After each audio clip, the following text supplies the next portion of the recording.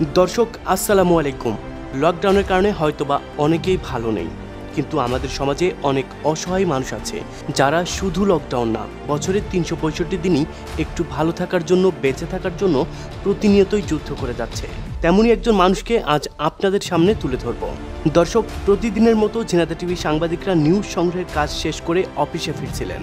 ফিরতে পথে ঝিনাইদহর post office মোড়ে এই লকডাউনের মধ্যে রাত সোয়া দশটার সময় এক বৃদ্ধ লোককে একটি ওজন মাপা যন্ত্র নিয়ে বসে থাকতে দেখা যায়। তাকে দেখতে পেয়ে ঝিনাইদহ টিভির পরিচালক এস এম শিমুল তার সাথে কথা বলে জানতে পারে, লকডাউনের মধ্যে কোনো আয় রোজগার না থাকায়। বৃদ্ধ লোকটি একবেলা ভাত আর একবেলা চিড়া খেয়ে প্রতিদিন জীবন ধারণ করছেন। তো দর্শক চলুন জেনে নেই বৃদ্ধ লোকটির মানবতার জীবনের কথা। কাকা এই রাত দশটার বেশি বাজে। এখন এই কঠোর লকডাউন সরকার যে লকডাউন দিয়েছে এর মধ্যে বাইরে কোনো লোকজন নাই। কিন্তু এর মধ্যেও আপনি কেন এই রাত করে বসে আছেন এখানে? বসে আছি যে নিজের পেটের জ্বালায় সবচেয়ে বড় জ্বালা। তাই এই মিটার নিয়ে বসে থেকে যে যা দুই পয়সা আসে, এই পয়সাটা পাবো কোন জায়গায়? আমি খুব কষ্ট করি। এই মিটারে যা দুই এক পয়সা ইনকাম হয়, এই খেয়েই আমি বেঁচে আছি। কিন্তু এই লকডাউন হওয়াতে আমার খুবই ইনকামও কমে গেছে, আমার খাওয়া দাওয়া থেকে খুবই খারাপ হচ্ছে। আমি খুব কষ্ট করে এখানে থাকি।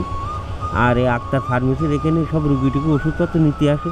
ওরাই দুই একজন মাপে, কেউ খুশি হয়ে হয়তো দশ টাকা দিলে, কেউ হয়তো খুশি হয়ে বিশ টাকা দিলে, হয়তো কেউ হয়তো এমনই আছে যে কাছে টাকা নেই হয়তো ওজন মেপে গেল আর একদিন দেবে এইভাবে আমি চলছি। আমি খুব কষ্টের ভিতরেই আছি। আমার ইনকামও এখন বর্তমান নেই।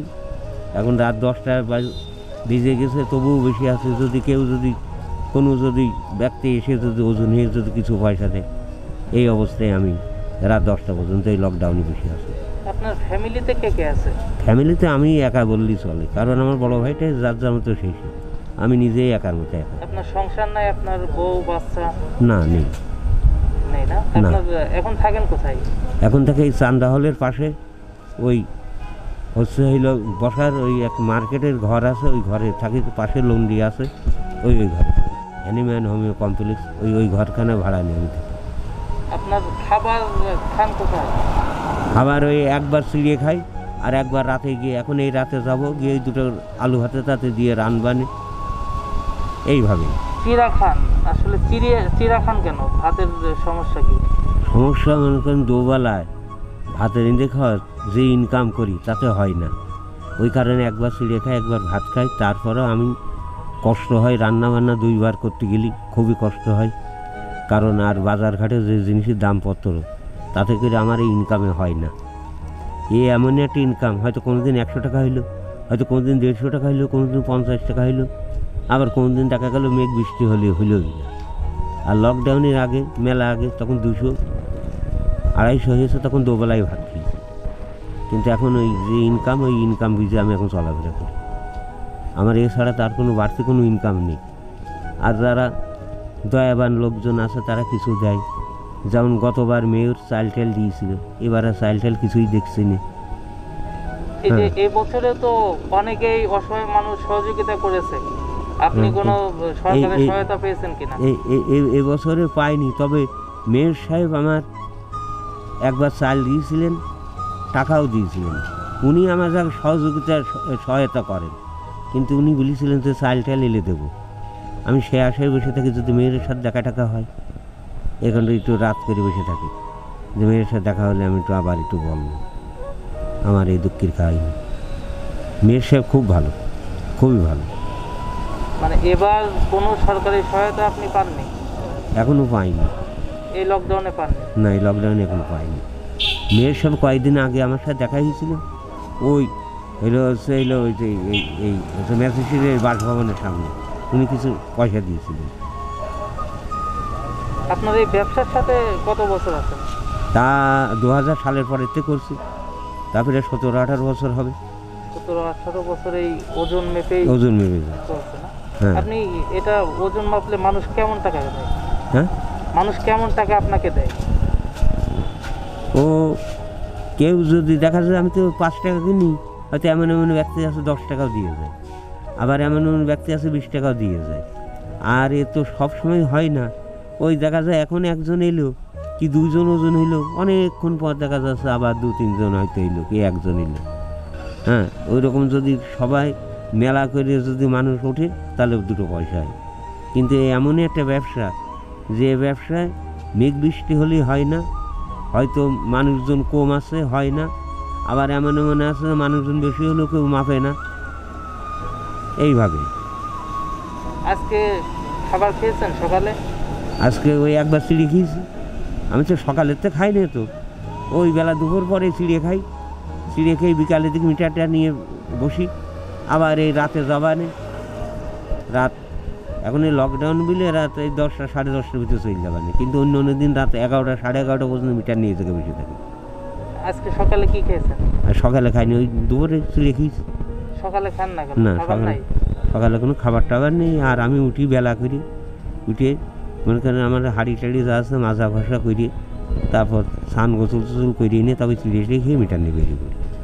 আজকে আসছেন কখন? তা আজকে বিকালবেলা। আর আসব কখন? সারাদিন বৃষ্টি। আমি দিনের বেলায় বসি নে আমার শরীরটাও ভালো না আর দিনের বেলায় সেরকম একটা ইনকাম হয় না আজকে সারাদিনে কত টাকা ইনকাম করেছেন আজকে মনে করেন সে বিকালেতে এই এই ইনকাম খুব কম হ্যাঁ? আমার এমনি একজন বিশ টাকা দিয়ে গেছে আর একজনও বিশ টাকা দিয়ে গেছে একজন দশ টাকা দিয়ে গেছে আর এই ইনকাম একেবারে কম হয়েছে। মানে সারাদিনে কি পঞ্চাশ টাকা মতো হয়েছে? ওইরকম তাও এখন যে বাসায় যে রান্না করবেন তারপরে খাবার খাবেন।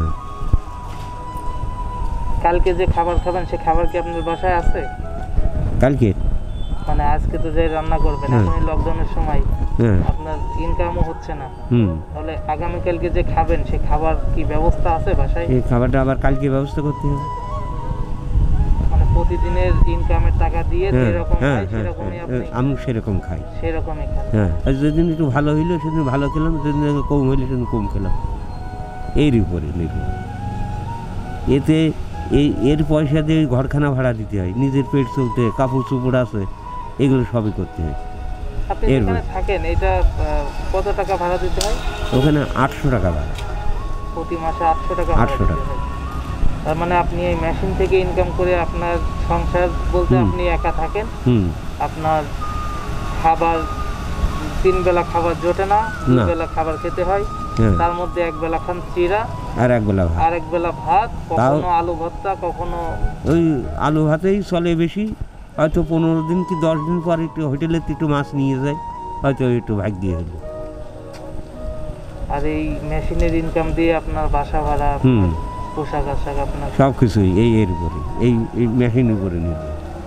এই লকডাউনের মধ্যে আপনার যে কষ্ট করে দিন পার করছে এটা সরকার থেকে তো আমরা দেখেছি যে সরকার থেকে অনুদান দিচ্ছে। আপনার বয়স্ক ভাতা বা অন্যান্য কোনো সুযোগ সুবিধা আছে কিনা আপনার?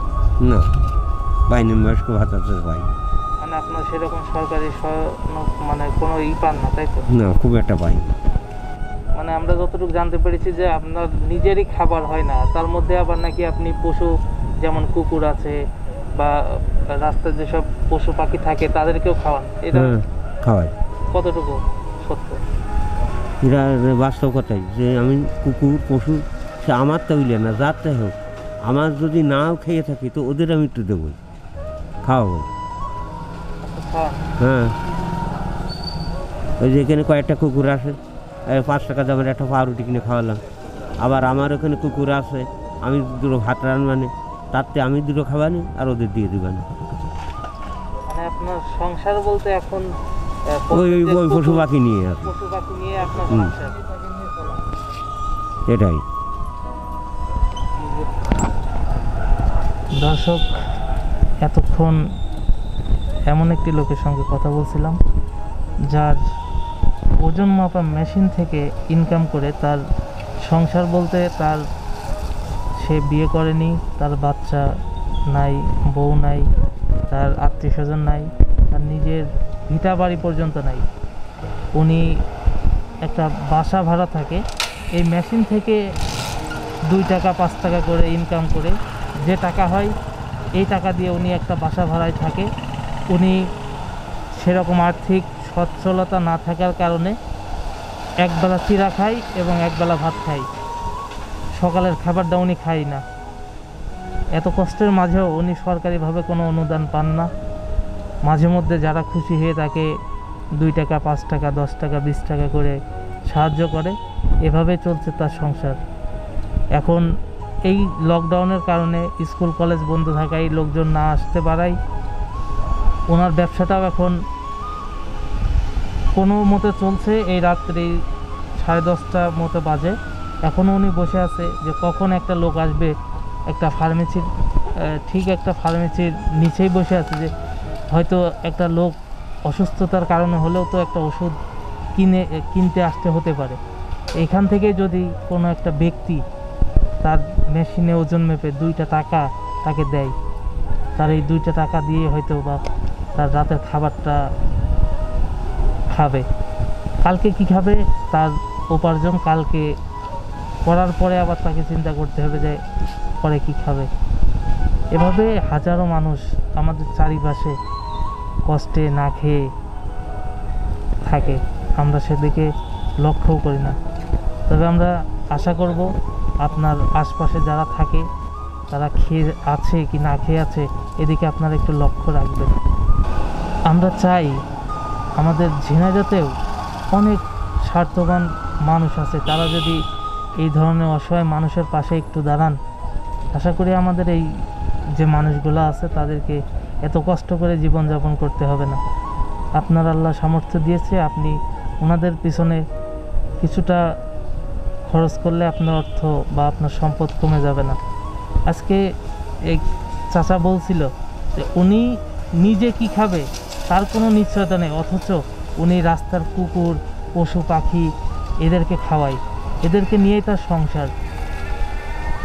তাই সবার প্রতি আহ্বান থাকবে, আপনারা যে যতটুকু পারেন চাচাকে সহযোগিতা করবেন এবং এই ধরনের মানুষ যারা থাকে, তাদেরকে আপনারা একটু আপনাদের সহানুভূতির জায়গা থেকে আপনাদের মানুষ, মানুষের ধর্ম, মানবতা, তাই আপনারা মানবিক চিন্তাভাবনা থেকে আপনারা এই ধরনের মানুষকে সহযোগিতা করবেন।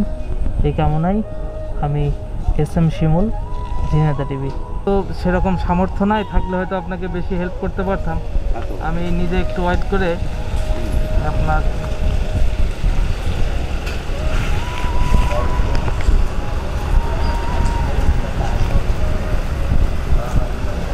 আচ্ছা নড়া হবে না? এখানে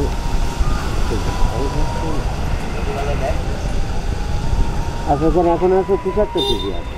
একটু কম আছে চুয়াত্তর কেজির কেজি না হ্যাঁ পঁচাত্তর হয়নি পঁচাত্তরই কম আছে চুয়াত্তরের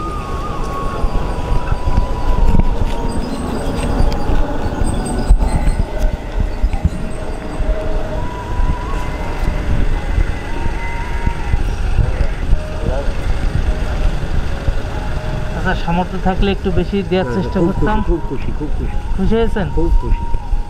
আচ্ছা ভালো থাকবেন আর দোয়া রাখবেন। আচ্ছা আপনাদের দোয়া আশীর্বাদ করে আপনারাও ভালো থাকেন। আচ্ছা। দেখা হবে।